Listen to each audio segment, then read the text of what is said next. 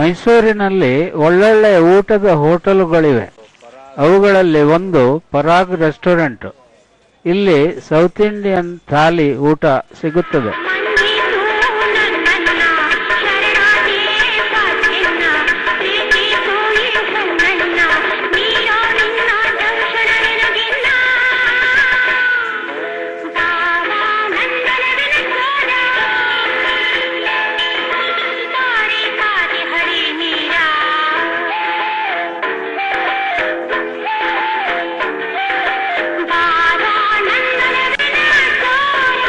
ದಸರಾ ಉತ್ಸವಕ್ಕಾಗಿ ಮೈಸೂರಿನಲ್ಲಿ ವಿದ್ಯುತ್ ಅಲಂಕಾರವನ್ನು ಹತ್ತು ದಿನವೂ ಪ್ರತಿದಿನ ಸಂಜೆ ಏಳುವರೆ ಗಂಟೆಯಿಂದ ಎಂಟೂವರೆ ಗಂಟೆ ತನಕ ಬೆಳಗಿಸುತ್ತಾರೆ.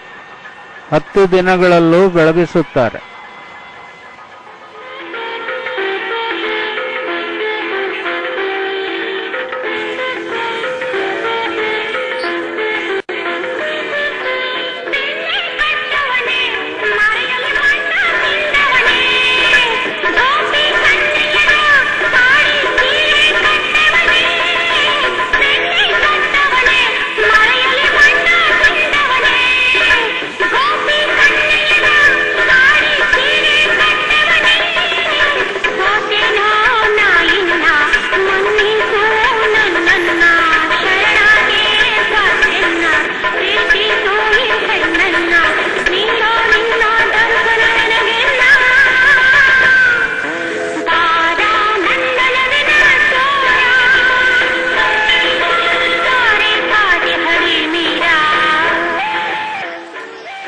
ಇದು ರಂಗಾಚಾರ್ಲು ಟೌನ್ ಹಾಲಿನ ವಿದ್ಯುತ್ ಅಲಂಕಾರ.